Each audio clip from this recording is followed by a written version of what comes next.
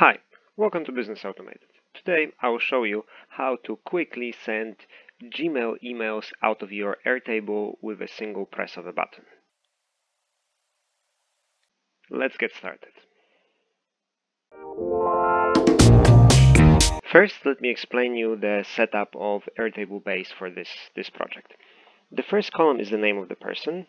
The second column is a first name that I'm actually extracting using Airtable formula. The formula is following. So first it finds the location of a space bar, which is in between those two names. So you can see that this is find space within the name. And this formula would return the location of a space bar within this name. The second stage in this formula, we do a formula called left. And formula left extracts a number of characters from the beginning of the string. So first we need to set the string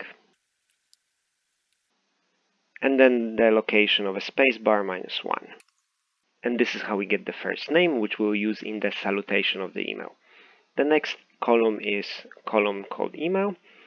Uh, and what I'm having here, it's a link to a template. So in the table template, I have created a couple of templates for emails that I would like to send out. And you can see that this is the subject of the template, what would be the subject of this email. And another column is a column that contains the body of the email. Here I'm using the long text with enable rich formatting enabled.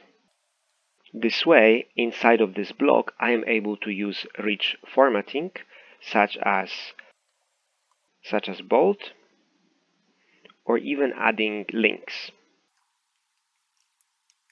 This way, you can format your email already here, and you can see this straight away in a proper formatting inside of Airtable. So it's a simple template contain, containing the subject and the body of the email. The body of the email does not contain the salutation here because we will be adding that salutation inside of uh, Integromat. Coming back to the main table. So with this button we basically decide what template we want to use to we want to send to this particular customer. So for example here we want to send out a template which is called let's schedule an update. Here, those columns are just giving us a simple lookup of the content from the template so we know what's inside so that you can see what's, uh, what's there. Then, the next step is the email button. I'll come back to it. And then finally, you have the status field. Status field is a single select that contains only sent. This will be a feedback from Integromat so that we can visually see that this email has been sent. Right. Now let's get into the setup of the button. So let's try to create this one from the from the scratch. What we'll do over here, we'll select new button, select the formatting for the color of the button. The action will be URL. And now what URL do you want to open? Now this is the place where you will need a webhook from Integromat. So uh, if you have not used Integromat, you can read about this more in the description of the video. If you have used Integromat, you should be more familiar with how to start setting up the scenario. We'll start with a new scenario completely from the scratch and the first module will be webhook. It will be custom webhook and let's add a new webhook you can just type the name so it's easy for you to identify. This will give us a URL of a webhook, which we need to copy. Now we need to paste the URL of the webhook here. Remember about the brackets on both sides. At the end of the URL, we need to add a question mark and then we need to type record ID equals and then we're going to attach the ID of the current record. I'm going to use ampersand and formula record ID.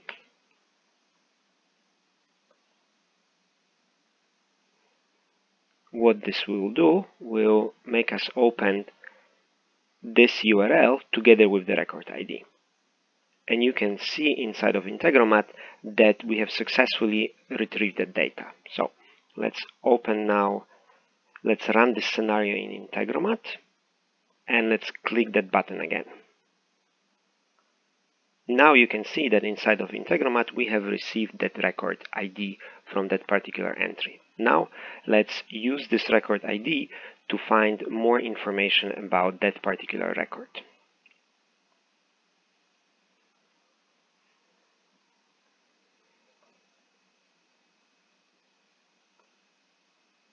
Select correct connection to Airtable and your Airtable base. And in the first table, table 1, we're going to be looking for the record ID coming from the webhook. And now we are going to add a second get Airtable record that will look up the content of the template. Templates, and we're going to use the ID that will come here from email to send and this first entry in that linked field with the ID of the template. Now let's run this scenario and let's see what are we getting. Mm-hmm. This should be let's schedule and this should be this record here. Alright, so we have received uh, details of the let's schedule template. And the details of the person that we want to send this email to.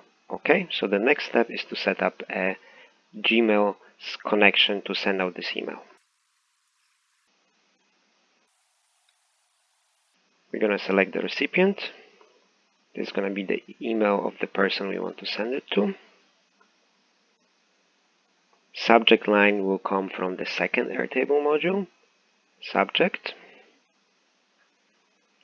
For the content, we will start with uh, salutation and we'll use the name of the first name of the person that we are sending this to. Now, because Gmail accepts in the content of the body only the HTML, this means we need to actually have this text written in HTML. So we need to make a paragraph out of this and to have the email body content display as a paragraph as well, we need to do one more trick. So let's close it for now. Let's say OK. And let's use a module called Markdown. Airtable long text is actually using Markdown and we'll convert the Markdown to HTML. So we'll add this module here in between. And let's say email body and this will give us HTML content at the end which will attached here at the bottom which will be the full content of our email. As advanced settings we can for example insert from let's click OK and the final field will be our feedback field to make sure that everything went okay and there was no errors in the scenario. Let's update the initial table. And let's type send. You can click smart links in case you have not pre-filled that field here so that it doesn't cause an error. So this will auto-generate send links now. As a record ID, we have to use the record ID of the initial record that was retrieved from Airtable, which will be this one. Alright, let's test it.